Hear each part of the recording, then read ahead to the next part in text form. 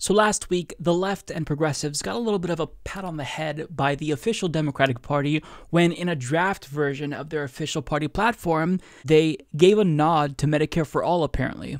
Now, while the platform itself doesn't explicitly endorse Medicare for All, I think some viewed this as a victory for the left because it's a signal of what's to come. Maybe they don't support Medicare for All right now, but it shows that we're headed towards that path of Medicare for all.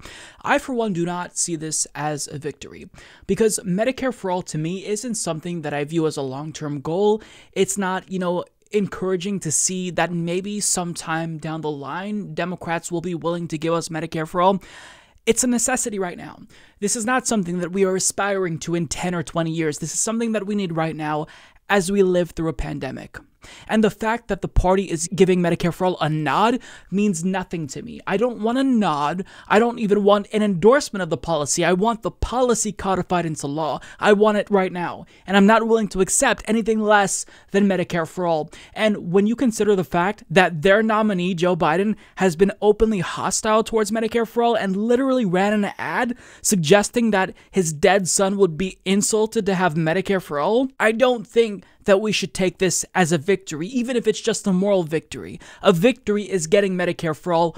Period, full stop. And thankfully, a lot of people agree with me. Important people, delegates, for example, who are planning to rebel if the party does not officially endorse Medicare for All in their 2020 platform. And as Holly Otterbein of Politico reports, a revolt is brewing among Bernie Sanders delegates three weeks from the Democratic National Convention.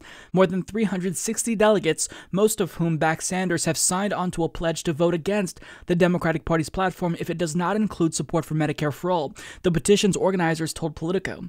They argue that single payer health care is an urgent priority amid a worldwide pandemic and the biggest unemployment crisis since the Great Depression. This pandemic has shown us that our private health insurance system does not work for the American people. Millions of people have lost their jobs and their health care at the same time, said Judith Whitmer, a Sanders delegate and chair of the convention's Nevada delegation who helped spearhead the pledge. There's people leaving the hospital right now with millions of dollars in medical bills. What are we going to do about that? The warning is all but certain to set up a clash between Sanders' most dedicated supporters and presumptive Democratic nominee Joe Biden, who opposes Medicare for all, at a time when the party is seeking to demonstrate unity ahead of its August convention. Though the petition signers have little chance of revising the platform to include Medicare for all support, they do have the numbers to draw attention to their protest and cause.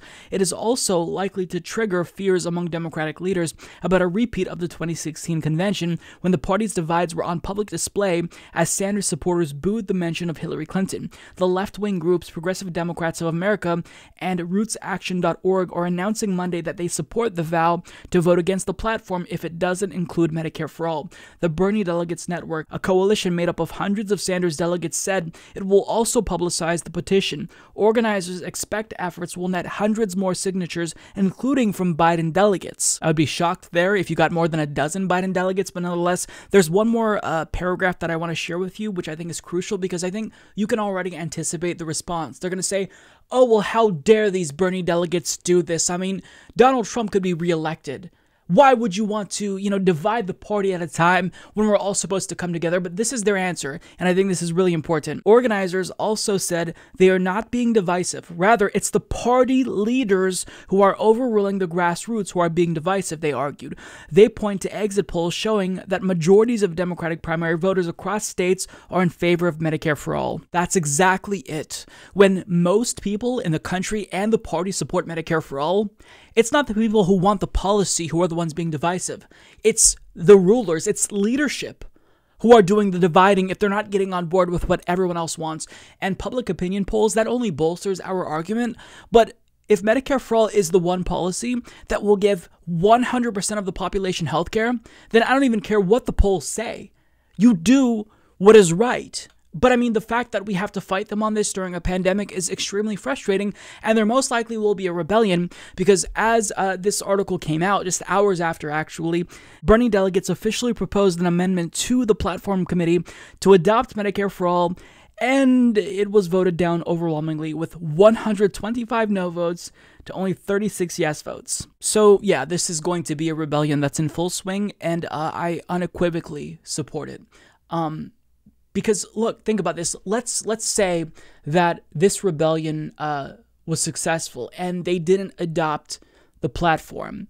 That would be important. It would it would send a really huge message to the establishment. But even if the Democratic Party chose to include support for Medicare for all explicitly in their platform, their party platform, like party manifestos, these are non binding documents. So it doesn't actually matter. Even if they say our official position is Medicare for all, like that doesn't mean that we're going to get it. So it's it would be a symbolic victory, but they can't even give the left a symbolic victory.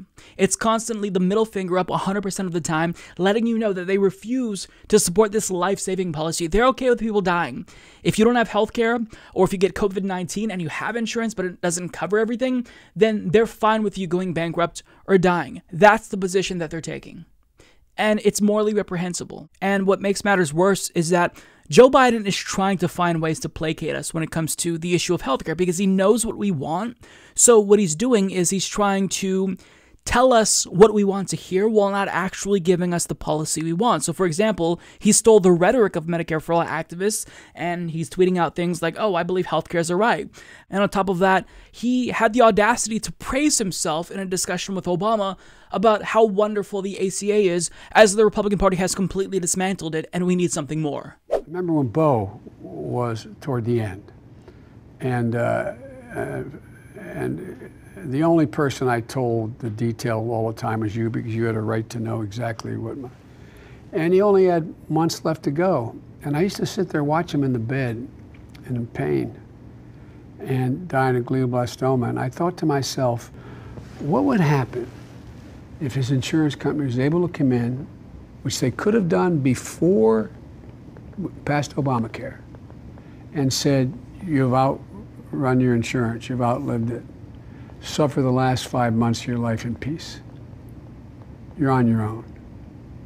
All the things that it did, that it was so profound an impact on people, it was like it took them a while until they started to take it away to realize what was happening. Yeah, well, look, I mean, you and I both uh, know what it's like to have somebody you love get really sick uh, and in some cases to lose somebody, but that loss is compounded when you see the stress on their faces ah. because they're worried that they're being a burden on their families.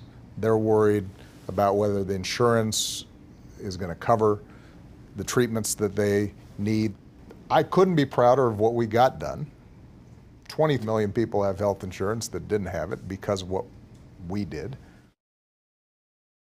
Imagine promoting that video thinking that you're serious about healthcare. Unbelievable. Now, to them, the reason why they're patting themselves on the back there is because success to them with regard to healthcare policy is how many people get health insurance, not healthcare itself, right? To them, if you get someone health insurance, good enough. Wash your hands, you're done. Now they say, look, we extended uh, health coverage. More than 20 million people got insurance under the Affordable Care Act except you left 30 million out when you had a supermajority and you could have gotten Medicare for all. Second of all, if someone has insurance and they bought it off of the Obamacare exchanges, that doesn't necessarily mean that they'll have full health care because they're purchasing expensive insurance plans that are garbage. They're shitty, right? You might have insurance, but still not be able to get everything that you need. All of your healthcare needs are not automatically met if you have insurance. Like I just talked to my niece last week. Uh, she has insurance, so theoretically she should be fine, right? Except she needs her tonsils removed immediately, and she has to fight with her insurance company. So just because you have health insurance, that doesn't mean that you have health care. It's not a way to measure success. But to them, they know exactly what they did. They know where they went wrong, so they're trying to gaslight you and make you think that, you know, what they did was better than it was in actuality. And even what little gains the ACA made, which, I mean, it was better than nothing, sure, but it's all been dismantled by Republicans. It may not have been like a giant repeal that happened in one vote, but it's death by a thousand cuts. They've been working to undermine the ACA since forever. And so you have to take it a step further. Now, when you have people support Medicare for all passionately, especially during a pandemic, for you to say, I'm still not going to give that to you is unforgivable. It shows how they're just they're not right for this moment. They don't understand what's needed right now. So, you know, I am looking forward to uh, the ghouls saying, oh, well, look at these Bernie Democrats, all these delegates here who uh, support Bernie Sanders. They're trying to hurt us. They're trying to help Donald Trump get reelected. No, you are helping Donald Trump get reelected.